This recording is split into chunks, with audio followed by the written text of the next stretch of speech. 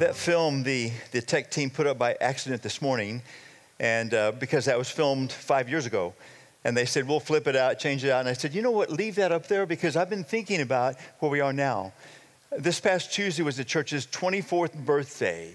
Right, 24 years ago, January 4th, 1998. Very first service in Bob and Ginger Boone's living room of all places.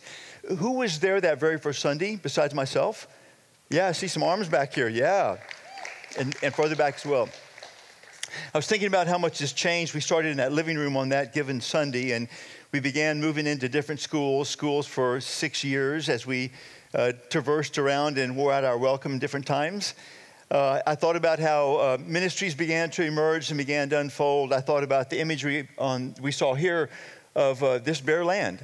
There was simply a cow pasture and had been undeveloped from the day of creation until this building was built. And then the years in this building, this was a much smaller room to start with. It was expanded, just all the change. If you would ask me several years back if we had live stream, I would have said no, but in the hill country, there's a Frio River and there's Guadalupe River. We don't have that. All of the changes happened. I, I can't get my, my mind around it. That film was made when we were changing our name from Friendswood Community Church to the Harbor. It, has been this, uh, this continual change now for, for 24 years and counting. And if you've been around, you know that this year will be a, year of big change as well back in November, first Sunday, I said there's, there's a new season coming. I'll be retiring in the second half of this year, sometime second half of 2022. I said there's more news to come. They're moving pieces still, but there's more news to come early in January, and this is the day. Like this is the day of the more news. There's change coming here. But I need to pause for a few minutes and teach on change because I know what some of you are thinking. Yeah, yeah, some of you in the room, you hear the word change and you go, let's go. Yeah, change is a good thing. You anticipate this to be good, let's go. But I know there's some of you too that just the word change alone, there's a little catch in your spirit. Like, will this be good? Will this not be good? It's just kind of how either you've experienced life or been wired. So, so I want to teach a little bit about change, just a little bit, and then tell you about what this change is going to look like here for us. When I think about this life God created for us, change is inevitable, isn't it? And there's no way around it. It is inevitable.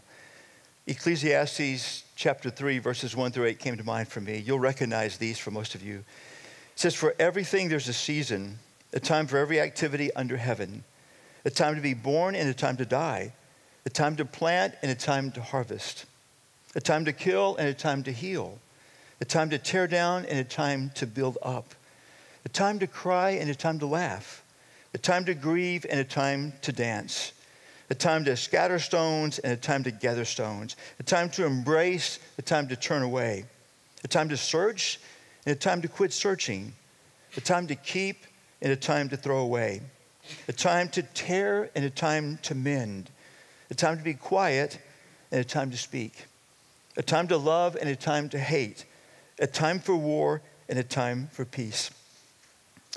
If I had a dollar for every time I had thought the thoughts or said the words, if I could just freeze this moment in time, so many times throughout my life, there's been something that's so good, so sweet. I've thought if I could just freeze this moment. Have you ever thought that? I'm sure you have. Did it freeze? No, it never does, does it? It, never does. If we could only freeze things as they are when they're so sweet, but, time, but change is inevitable. And change often stirs deep emotions in verse 4 that I read, there's a time to cry and a time to laugh, a time to grieve and a time to dance. It often change, stirs deep emotions. Sometimes there's change that we celebrate. Marie and I have two sons, and at each of their births, we celebrated their, their coming into this world. We celebrated. This is really, uh, it's been bizarre now for uh, soon be like 40 years before too long. Um, so one was born at 3.56 a.m., one was born at 3:01 a.m. And almost every year we have woken up right at the time that child was born on their birthday or just minutes before that. Now, most of the time when I wake up middle of the night, it's, oh, here we go again. I'm, I'm going to be awake. But every single birthday that I've awakened and Marie has at 3.56 or right before, 3.01 right before, we celebrate. I mean, to this day, we, we celebrate the, the, the birth and the lives of our sons. There's some things that we celebrate. Uh, maybe for you, it's, it's been uh, the dream job that you got. It, it's, it's a change, but it's a change that you, you celebrate. Maybe you made the varsity basketball team or the school play. Maybe a prodigal son or daughter has come home. There are things that in change that we celebrate. But there are things that we grieve too, aren't there, in change? Dear, dear friend of ours, a couple of days back told us that, that today is the anniversary of her mother's death. And some years have passed. She always grieves the loss. But she said there's some years where the grief is much deeper. And she said I, on Friday, she said, I know this is one of those. I, I've felt it all week. This is just one of those. Grieving the loss of a loved one. Maybe just the loss of a friendship, or meaningful relationship, or loss of health, or a job, the loss of a dream that you realize will never be fulfilled. There's also a change that we grieve and celebrate. There's a lot more of those than I would have thought. So, our two sons, uh, growing through the years, um, both of them went off to college after high school, and we took the first one off to college, and there was some grieving there, but we still had one at home. So when it was time for the second one to go to college, then we had had 21 years from the birth of the first son to the, taking the second son to college. And so we, we've been grieving for weeks, and then more intensely for days. And then that day, it was just, it was a hard time for us. We knew it was good, he was ready for it in every way, spiritually and emotionally, and every, every other way. But, but there was a sense that something was ending. You, you get it, don't you?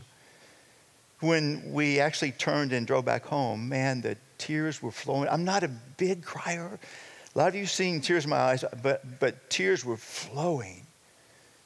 About halfway back, one of us said, What do you want to do tonight? And something flipped.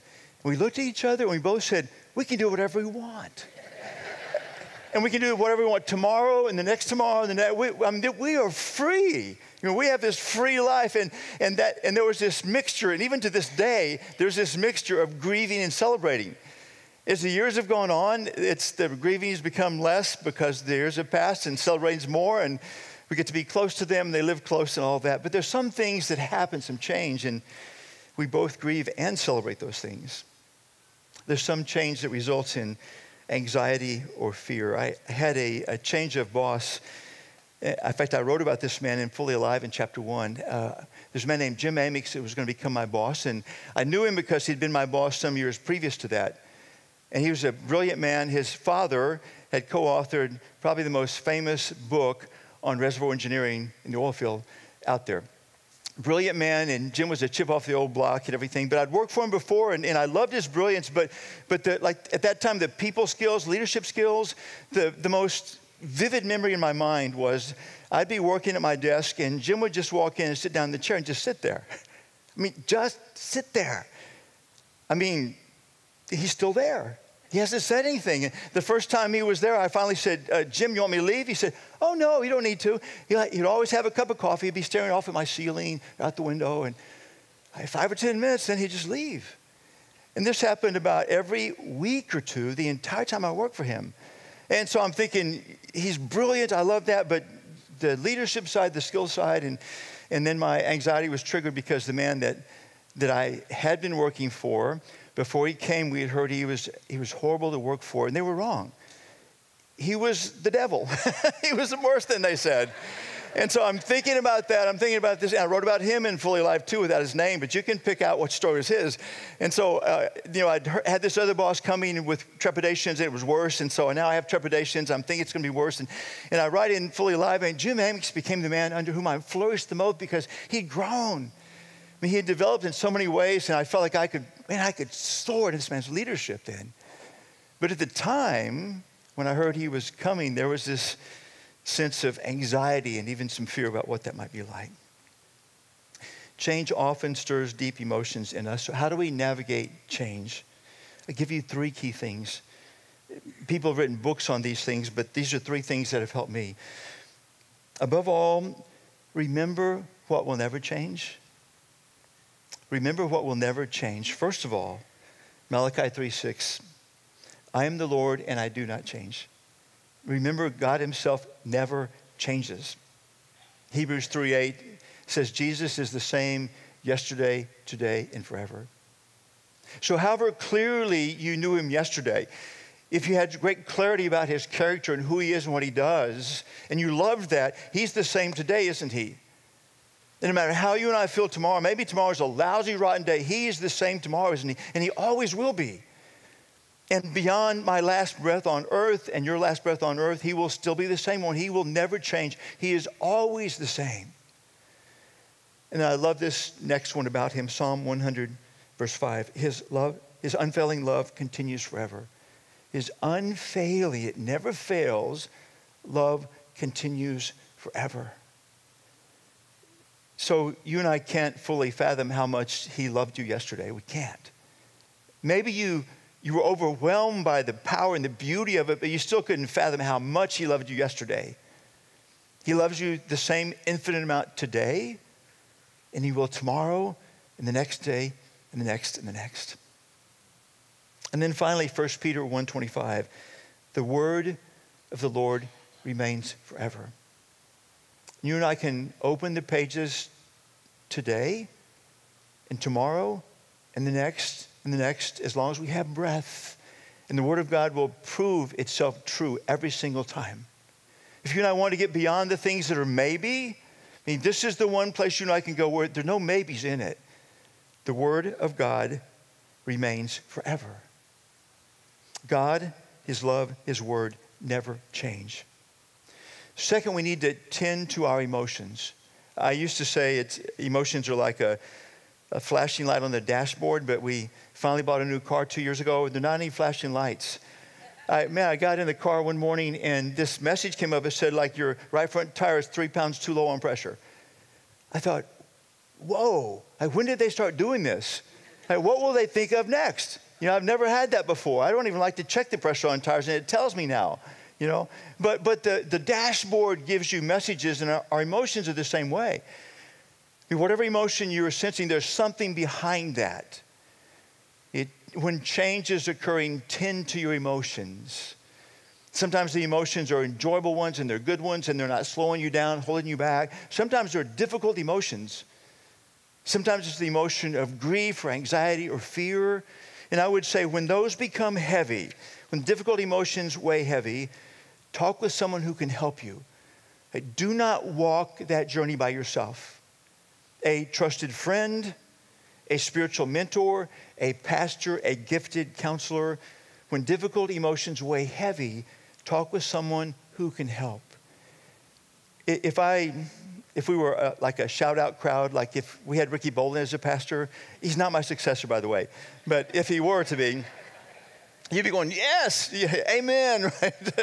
if we were a shout out crowd, if, if I said to you, man, have you found it helps to talk to someone when heavy emotions are reigning in your life? You there'd be a bunch of folks here saying, amen. I mean, that's, that's just, that's how God's wired us. When things weigh heavy, not to carry them all by ourselves. So we navigate change by remembering what will never change. We tend to our emotions. When they get heavy, we share with somebody else. So change is coming to the harbor.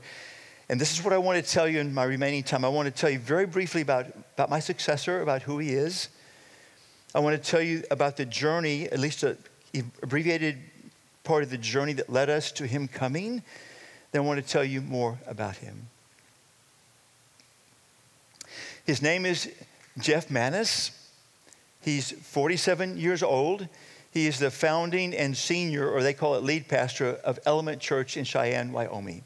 It's a church that he started 14 years ago. It's about the same size as the harbor is. It's much, much like the harbor.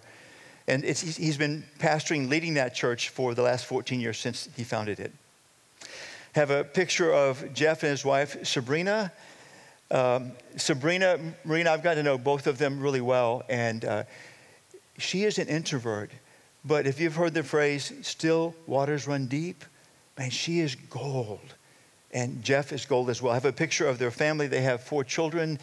I can tell you just the names briefly. Mariah's on the left. She's getting married next month. Jada is the next one. She's a freshman in high school. And then Michaela is the next one. She's out of school working. And then Jonah is their son, who's out of school and working as well.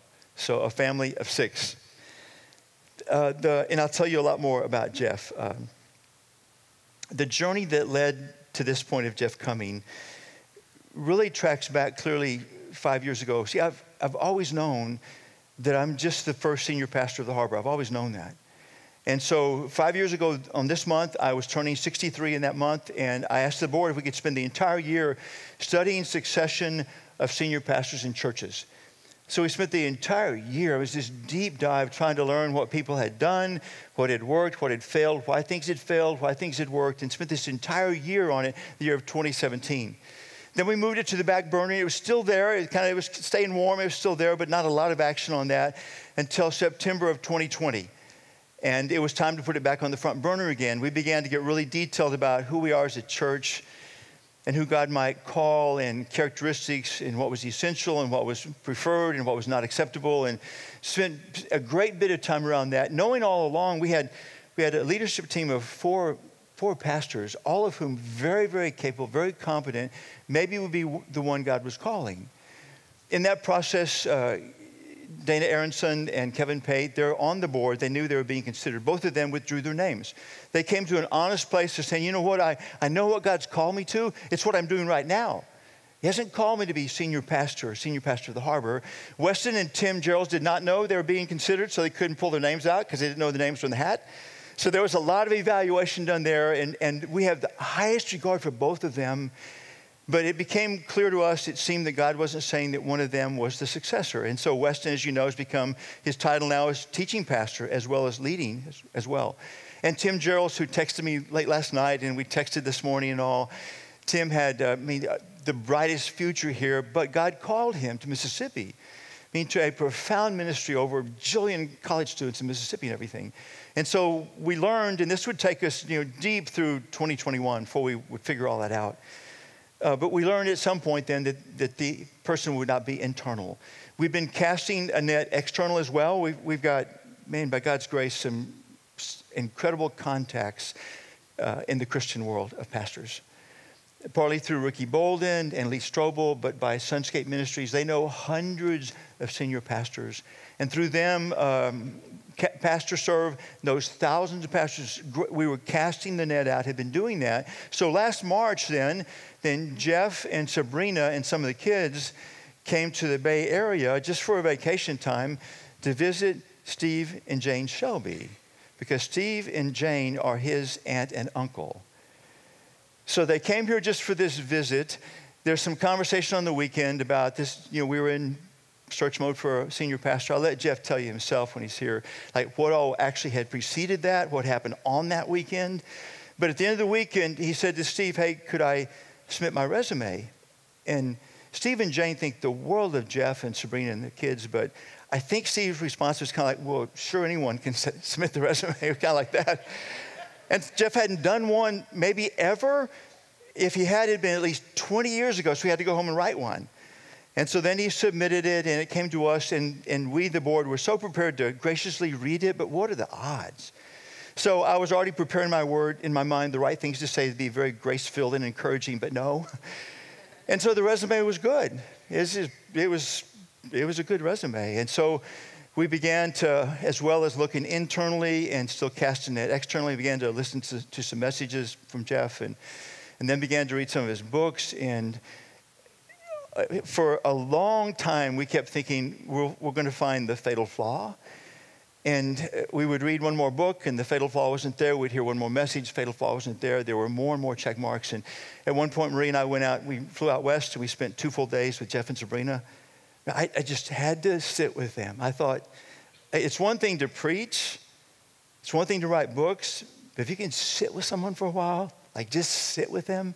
We spent two days with them and some came back with really um, stirred by what God might be doing, they would then end up coming here for an entire week and spend that time with the board and, and the leadership team. And uh, soon after that, there were, there were uh, infinite amount of time with Zoom and calls and text and references and all that. We, this, if you don't know us, we are thorough. Like if God says jump, like we will jump. But when he doesn't say jump, we are thorough. We are thorough. Every single stone, I can't say we turned over because we turned them over at least twice. Every single one. I spent, I spent hundreds of hours on this. the board, apart from me, spent hundreds of hours on this. By the way, Steve and Jane, at the very beginning, like this wasn't a serious thing about Jeff. When it became serious, Steve and Jane recused themselves from all of the discussions, all the work for months. They, they were not part of any of that for months then. But, but the board, uh, apart from me, spent hundreds of hours, which is why at the harbor, like the board is charged with choosing a senior pastor.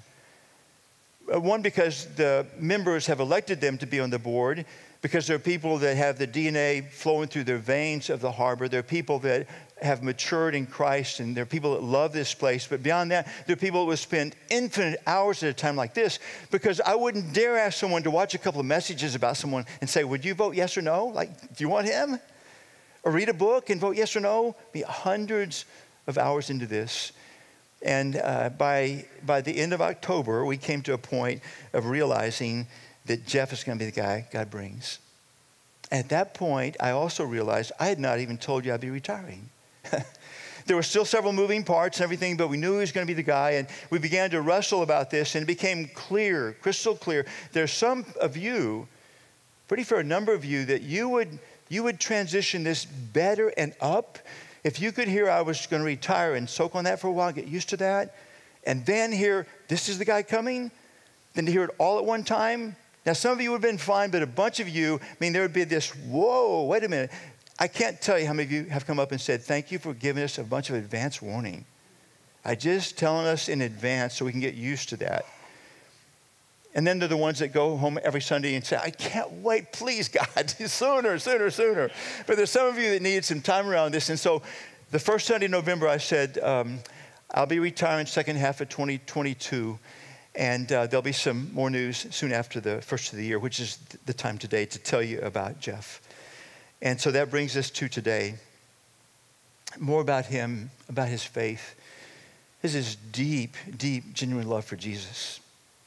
He has this uh, very genuine, authentic, organic relationship that's it's tied up in with prayer and journaling that's very organic for him. It's tied up in intense scripture reading. It's tied up. He actually, for some, quite some time, he, he will fast an hour every week. He'll fast a day every month. He'll fast a week every year. There's just this rhythm of him through many, many years now. Since he was, well, actually, he met Christ early, but uh, God called him to be a pastor when he was maybe 20 years old. I mean, there, over the years, there's this deep, deep, mature love for Jesus. And there's also there's this, this, this bold faith to follow wherever God leads. In fact, when you, if you were to hear just the, the, uh, the bullets of their story, which that's what we had as a board at first, there were a couple of board members that said, this guy may be reckless. Man, that was a, that was a pretty wild move. You get behind the story and you see how God led them and prompted them to the point of them having to have faith and say, we'll jump off the cliff because you told us to. And when, when we heard those stories, Marie and I thought, that, that's exactly what God did with us. Time and time again, there's this bold faith to follow when God says move, go wherever God says to move in that. Um, Jeff also has this deep love for Christ's church, and it's the similar love to what we have here. There's this dual passion for people to come to meet Jesus because of the church, but not just meet Jesus, but grow deeply in love with Christ and be formed in Christ's likeness. There's both pictures of this which matter so much to us. People are meeting Jesus and then growing in vibrant faith to become Christ-like here. He's a very gifted communicator. He's this passionate teacher. I've watched so many messages, every single one. There's got to be one someplace where I think that, that was a you know, that was a D. I didn't get anything out of that. I mean, every single one has mattered. Um, every single one has gripped me. He's a, a gifted writer. I'll tell you more about that. In leadership, he's a visionary leadership. Some of the things they've done, so unique. He's an innovator. He thinks outside the box. I give you just one example. He and Sabrina, who again, she's, she's very introverted, they do a podcast. The name of the podcast, hold on to your seats, is The Naked Party Time when we first heard that, we said this could be a, a deal breaker right here. And then we learned that the, behind that was this the podcast. It's about being authentic and real and open. But they realized if they put that name on it, they would have all kinds of people listening, and they have. from all over the world listening to them on this. And, and then as you get to know them, then you know they live out and they teach and they guide like the purest biblical sexuality off of the Naked Party Time podcast. Is that outside the box? Could you picture Marie and me doing that? Not in a million years. But, but getting to know them and knowing, man, if you, you will meet them, you'll think, there's no way. Of course, by then you will have listened to the podcast a bunch of times. You'll go, way, yeah, that's what, that's what God's doing. That's what God's using. There's, there's this innovation and there's this willingness to, to move outside the box when God says, look here. Like no one's done this before. At least not in the harbor, they haven't. but this might really be used by me, Jeff, at the harbor. I've said this many times. Uh, this is God's church, isn't it? And you've known that.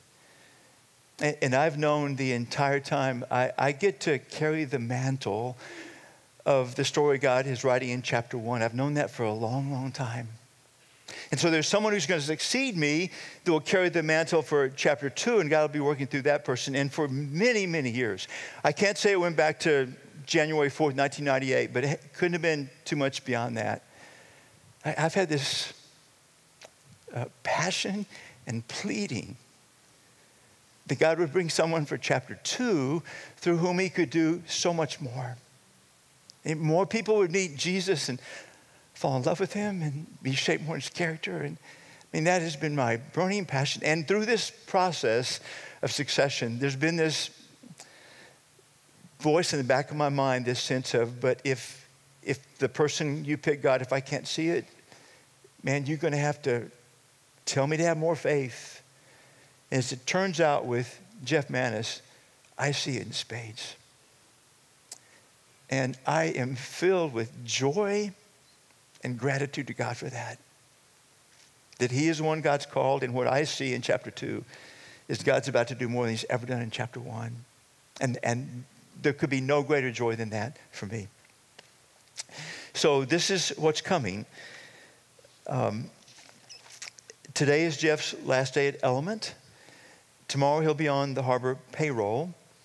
But if you know, if you could imagine the effort to try to leave a church really well, a church our size, and you're the lead pastor who's touched lives and everything, and try to, to leave well in the amount of um, exhausting effort to do that well. If you've ever started a job with a big, big scope, you know how exhausting it is to start that and to do it well. And rather than have someone be exhausted leaving, exhausted when they start in a huge job here, the church, the board said, let's give them a sabbatical. January 10th to March 20th, just a sabbatical. I mean, well done, good and faithful servant. Like refuel, rest, recharge. Because when you start then on March 21st, first day in the building with us, then you'll be, you'll be fired up and be energized, ready to go. March 21st, first day in the building. March 27th, first day here with us on Sunday. And probably Jeff and I will be up here on stage together, and you'll be hearing the story, well, much more than the story unfolding in that. March 27th. His first Sunday to teach should be the last Sunday of April, April 24th. And then at, as this unfolds in the few months that follow, uh, we'll be transitioning teaching leadership, and I'll retire second half of 2022. So, Harbor, that's what's coming, and I could not be more excited. So, change is inevitable and change is coming to the harbor. So, what do we do when we, when we have change? How do we navigate change? We fix our, our eyes on that which will never change. We continually fix our eyes on God, on His love, on His word. They will never change. Whenever you feel shaky, if any of this feels shaky to you, we, we look to that which will never change God, His love, and His word. We tend to our emotions so if you have some emotions, uh, I mean, the, the ones of celebration, just let them run and ride.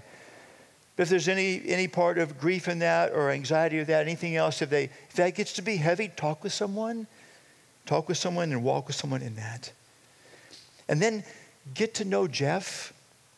In fact, when this service is done, as you leave to the outside on, in both directions, we have three of his books available for you to purchase. I'll give you a quick snapshot of these three. The first is because you're called. It's for every every Christ follower, every person, well written, inspiring, significant. I would urge, I would urge you all to read this one. The second I would tell you about is called My Declaration. This is written to men, for men. Men, you need to read this. I, mean, I, I get goosebumps thinking about what is in this book for us men here. My Declaration is out there. And then Jeff's most recent is actually a children's book that's titled, How Much Does God Love Me? If you have children, we have a granddaughter about to turn six, like that age and, and younger. This is a great book about God for them. And so when service is done, you can actually get to know more about Jeff through his books, through his writing, and actually grow through that as well. And then the Harbor website at noon after the next service is done, which, by the way, please don't tell people entering in what I've told you. And 90% of you won't the 10% of you will and ask God to forgive you and you'll be fine. but, but, I would just urge you, like, please don't let them, let me tell them, let them hear from me about it. Uh, so, anyway, at noon today, when I'm done my time with them, then on our website, if you go there under About Us, There'll be a lot more info about Jeff. There'll be links that can take you to his messages. He has a jillion messages. We'll give you like two or three if you want a starting place. We would suggest those two or three. But you can start any place. There are jillion messages there to watch. Um, and then on the podcast, we'll suggest two or three. I think we would we'd urge you to listen to the very first one. I think it's zero zero zero zero because they give the vision around uh, why they're doing the podcast. But you'll have access to that. More information on the website will be out there at noon. So change is coming, church, and and this, this has always been God's church. And friends, He loves this church. It blows me away. He utterly, utterly loves this church. And an expression of that is uh, now in Jeff Maness, and his family coming here. Father in heaven,